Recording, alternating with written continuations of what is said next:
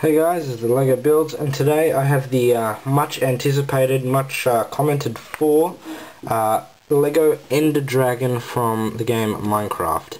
Um, it took a little while to make actually, uh, I needed to find all the right pieces and just things to fit perfectly together. I had tried several times uh, for the shape of the body and where the legs would go and wings and also the shape of the head like where the neck goes and fits in. I had to modify one piece for the head. I ended up doing that just getting rid of one of the inner sort of connections. But it worked out pretty well and it looks really cool. Um, first off the tail it moves. Right. full sort of swirly motion like a snake. Uh, it does fold up if you fold it up because it's like one of those got several bits of those hinge pieces ends up folding up like that.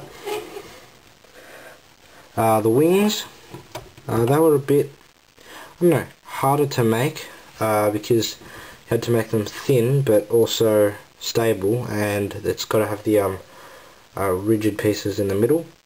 Uh, I think I did that pretty well. Um, so basically the wings flat, both up and down, and also they can open out and go in as well.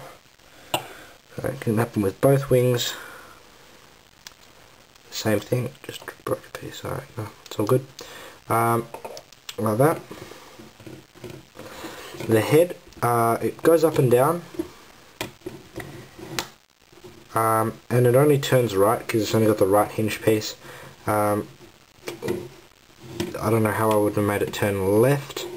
So it just turns right at the moment. Uh, it's got its horns on his head. It's got scales running all the way down its body. I've left all the studded pieces so I haven't got it um, smooth plated. Left all the studded pieces to make it look like scales. Would have been good if I had uh, flat pieces along the uh, edges of the wings. Uh, but that's all I had so it should work just fine. The eyes have done purple just like the uh, uh, the Ender Dragon's eyes are and how all the Ender sort of things are.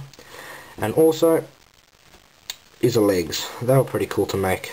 Just folding up for you. Uh, they were pretty simple to make, but they were pretty cool to make at the same time.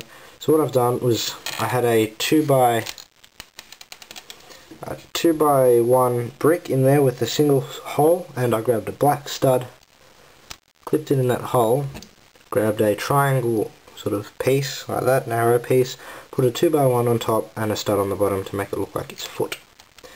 So that is how, that is my Ender Dragon sort of review that I've done my very own Ender Dragon. It looks really cool. I'm not sure if I'll do a tutorial. I see, I'll see if I can because it was pretty difficult to make it. Um, but yeah, I might do a tutorial on this next week. I'm not quite sure yet. But I've definitely got some portal things for you guys. Um, so rate, comment, subscribe guys, and uh, stay tuned.